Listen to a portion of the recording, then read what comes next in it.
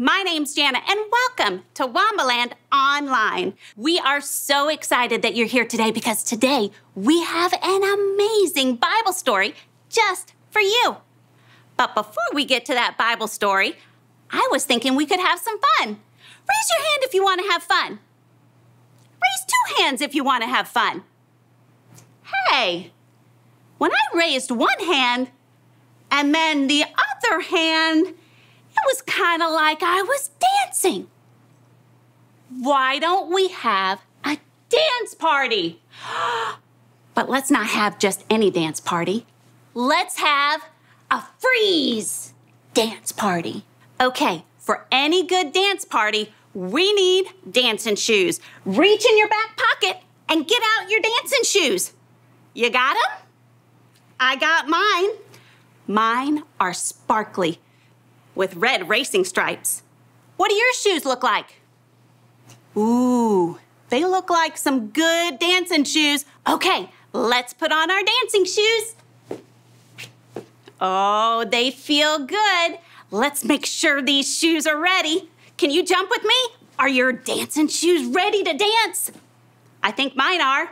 Okay, now we just need some music. Mr. DJ, we need some music.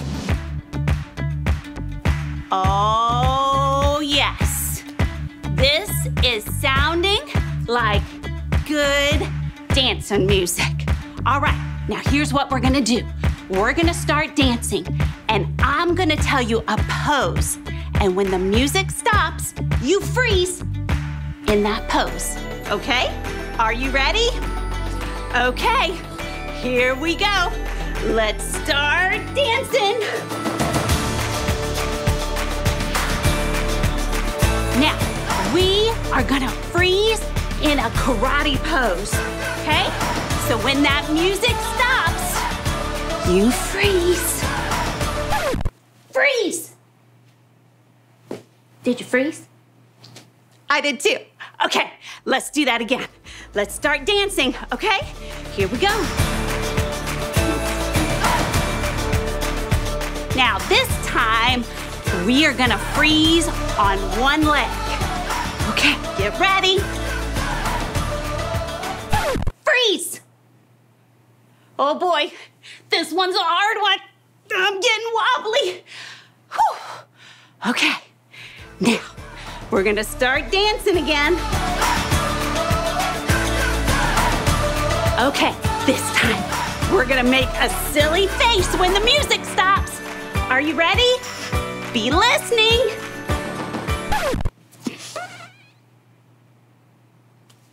Did you freeze? Those were silly faces. Okay, last time.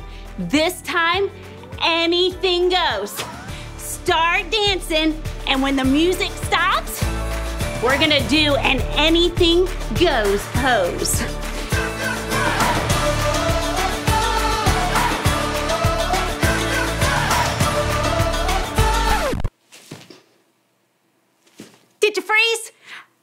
Was so much fun. Those were some great poses. Now, whew, we are gonna shake out all of our freezes, okay? You got them all in there? Start shaking. Shake down here, shake over here, shake over here. Whew, that was awesome. I had so much fun with you today. But now it's time for the Bible story. So let me see your hands. All right, ready? Open, shut them. Open, shut them. Give a little clap. Open, shut them.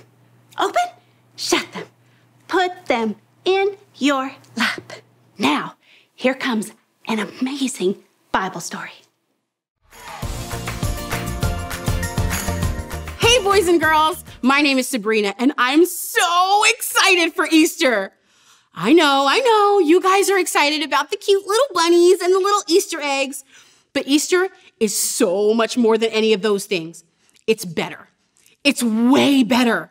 I was reading all about Easter in my favorite book of all time. Do you know what that book is? That's right. It's the Bible. The Bible is so important because it helps us to know how much God loves us. I was reading all about Easter in my Bible, and I really want to tell you about it. But I need to take you back, way back. We should start right here at dinner. Jesus was sitting having dinner with his disciples, and he told them that he would have to go away soon. But they didn't have to be sad because he was coming back to them in three days. That's right, three days. He told them that this would be their last dinner together, and they were really sad because their good friend had to go away.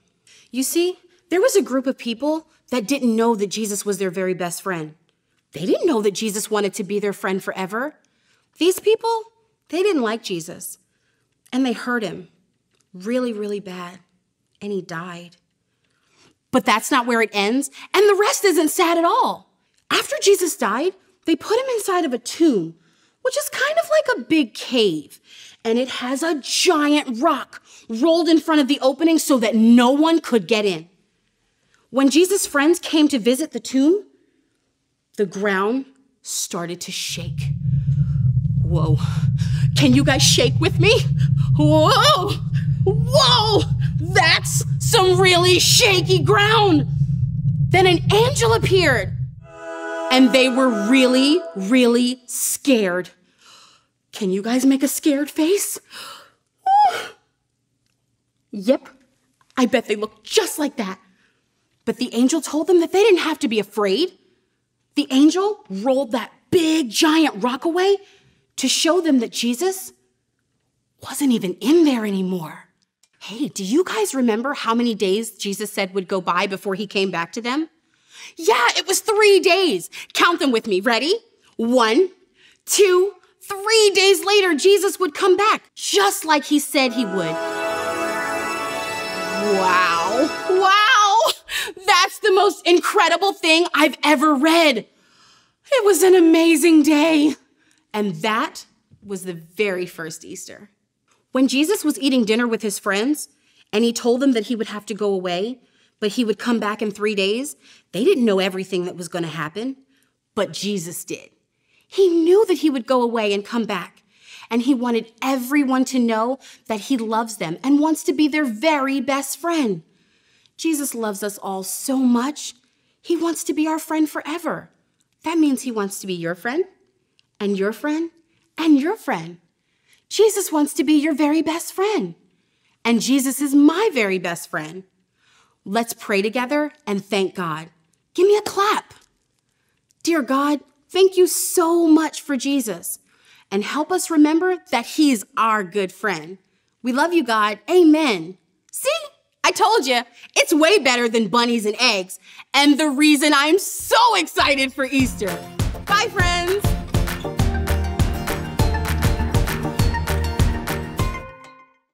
Wow, that was a great Bible story. But before we go, I think we need to sing and dance to one more song. Are you ready? I can't wait. See you next time.